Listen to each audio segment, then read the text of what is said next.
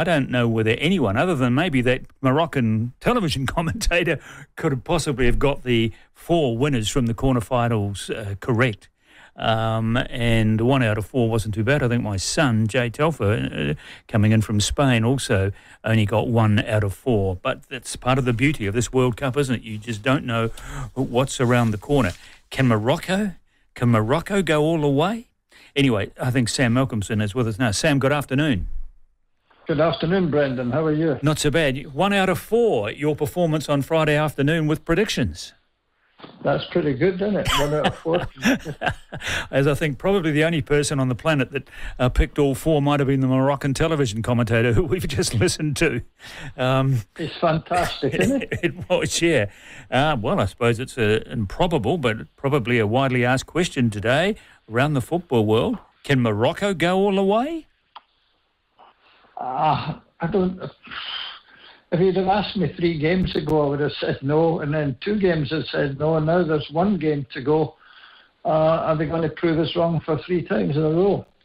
If, they, if you don't concede goals, you don't lose games. And they won't, they won't, the only goal they've conceded has been an own goal in the last 10 matches.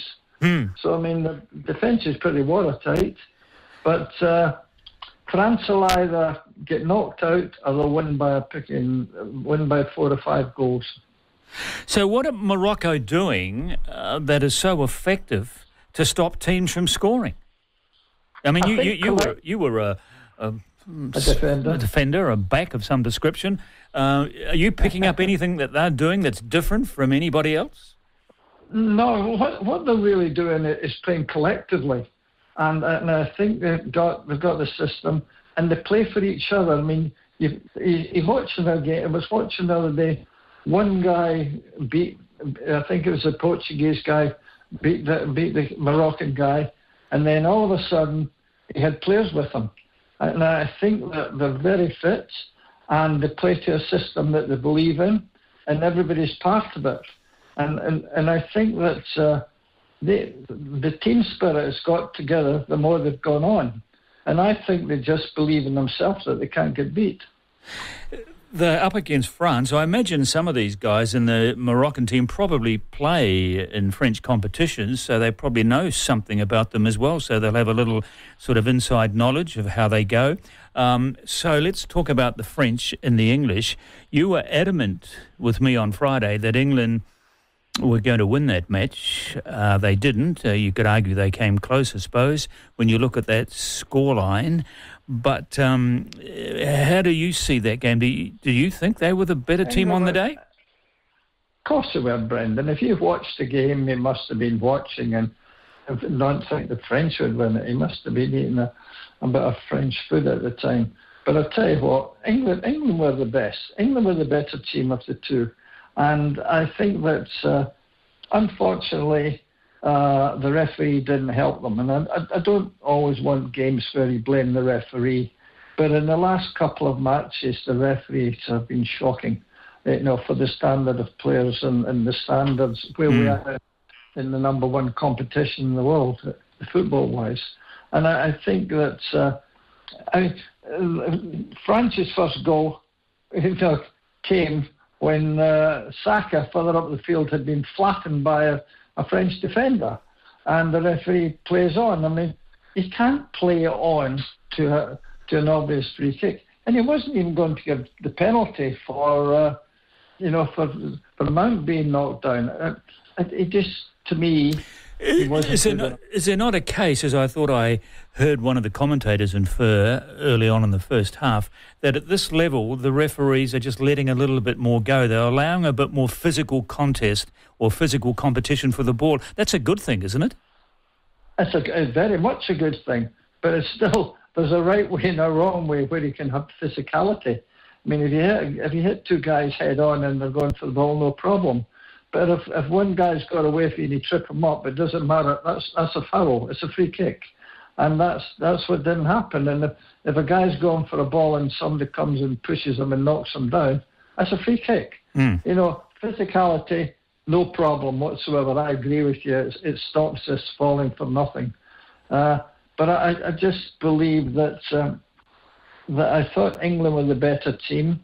Uh, Okay. I, again, uh, the winning goal was given away by uh, the weakness in the England team, which was the, the two centre backs. Okay, I bow to your superior knowledge there, but I will call to the witness stand to help bolster my case a guy by the name of Peter Schmeichel, who I'm sure you don't need any introduction for. He said on television yesterday in the panel discussion afterwards, trying to put one of the English ex players in his place, that you cannot have a team like France scoring two goals from free play from the field of play, England scoring none uh, from the f- field of play.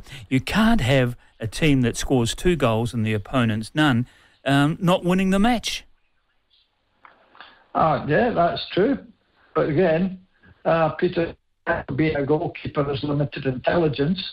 And what happened was that, what about the free kick before France scored the goal? So if that had been done properly, it, they wouldn't have scored two goals. They would have scored one. I know, and, and, and that is the difference, and, and when they would score it. So in actual fact, the game would have ended one all. And I, I think, and I understand what he's saying, Brendan, and uh, the team that scores the most goals still wins. It doesn't matter whether it's in penalties or not mm, penalties. Sure. Mm. Um, yeah, I mean, uh, football, um, you, you, can't make comparisons with other sports, I suppose, but I guess the nearest thing in rugby is a penalty try to uh, a penalty kick in football. But in uh, rugby, the referee has the discretion, as I guess the referee does in football, although the VAR comes into it, and the same in, in rugby. But the, the rules of rugby state that a referee has to be sure in his own mind that a try would probably have been scored if the foul play hadn't taken place. Um, I don't know whether that's the same in football, is it? Although I don't think it's a matter of whether a goal would have been scored. It's simply judged purely on the act itself, isn't it? That's the way I understand it, Brendan. Yeah, it's on the act itself. And they can play advantage. Say, for example, mm. uh, Harry Kane had been fouled uh, by a centre back and but at the same time, when they had that uh, collision, the ball went in the net.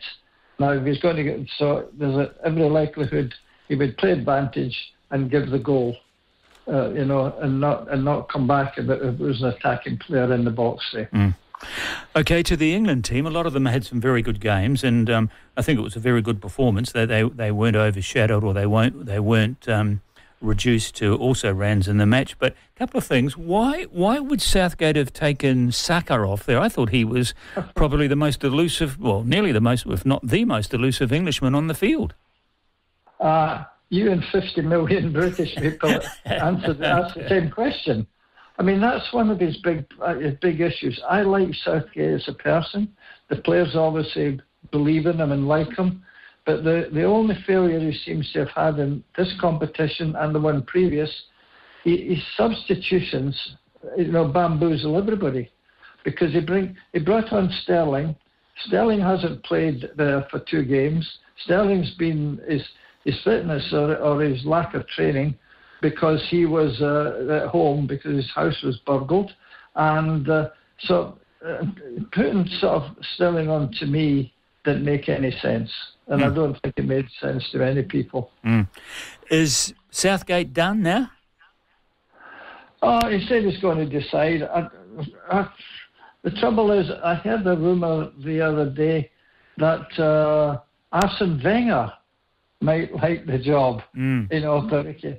But I mean, he would be wonderful. But the guy's over, the guy's uh, your age, Brendan, 70 odd.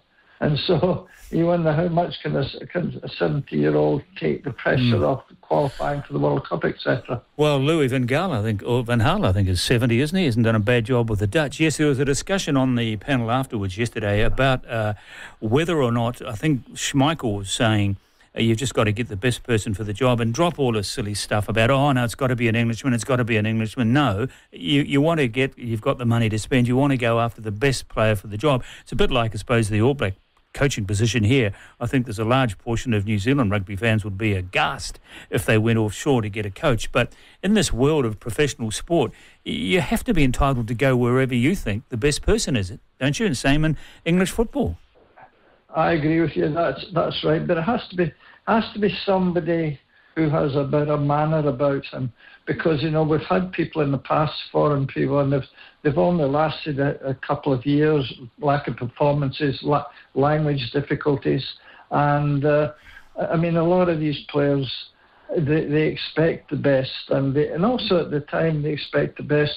They want they want to try and win. I mean, it's it's vital that England win a competition in the next number of years, but because they've gone so long without winning, and yet when we talk about the best league in the world, we talk about EPL, uh, and usually when we talk about football, we talk about England, and it's it's they haven't shown up when it comes to the competition. So the manager is would be very crucial, Brendan, and and I think that uh, uh, that's what an Englishman or a British person would be ideal. Uh, because it, it's just difficult, but I wouldn't mind Arsene Wenger because I mean, obviously well, he knows he knows English football for a start off, doesn't he? Uh, absolutely, he knows what it's like, and he knows how to handle it, and he's got great respect because obviously, doing his 20 years there, every one of these players would know who he was and what he was. Mm.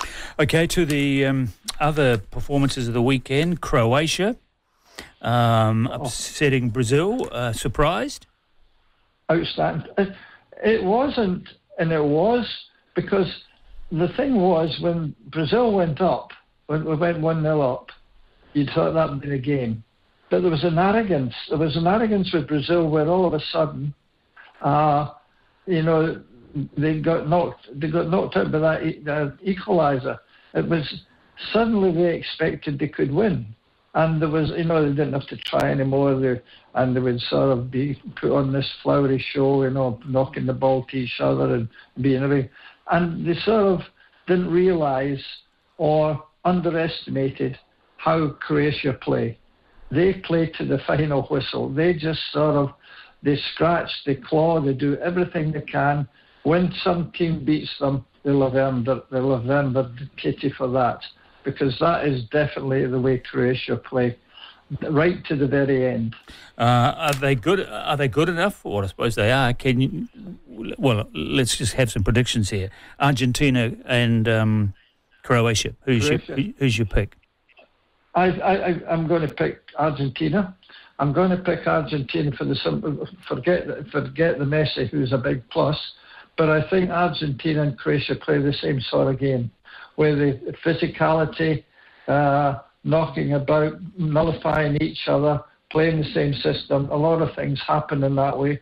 And I just think Argentina probably got more more players uh, of that quality who can take them there. I mean, it's like they've got some outstanding players who play for, for Croatia. And uh, it's I just feel that Argentina have just got that little bit, but very close, very okay. close and France, Morocco. Oh, imagine it's like yeah, it's like being on a tightrope, isn't it? You know, one one one either way. I, I think you know my my head tells me France is going to win, and my heart tells me Morocco is going to win. It's going to be that sort of game, and I think if France go, if France score first, then they could run away with it without mm. a doubt. Mm. Yes, but not many countries do score against Morocco, as, that, right. as you pointed out. yeah, yeah, yeah, yeah. Uh, anyway, it's still all ahead of us. Only three matches left in the Football World Cup, but gee, it's gone quickly, hasn't it? It's gone very quick, isn't it? Yeah, we, we, I think I think there's I think there's four matches because they have the third place playoff um, nobody wants to play him. Sam, just before you go, one thought. Later today, I'm going to speak to, or this afternoon, Ivan Vuksich, and I've had a brief conversation with him on the phone about this introduction of this uh, Oceania Professional Football League, which is coming, uh, backed, I imagine, by FIFA money. It's all being thrashed out up there in Doha, and I see Infantino saying this is a win-win situation. It's going to lift the standard of football.